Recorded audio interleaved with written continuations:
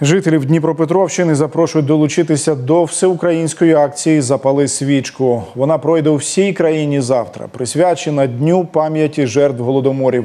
У цей день з 2003 року у вікнах з'являються вогники як символ пам'яті про мільйони невинно загиблих людей, яка ніколи не згасне.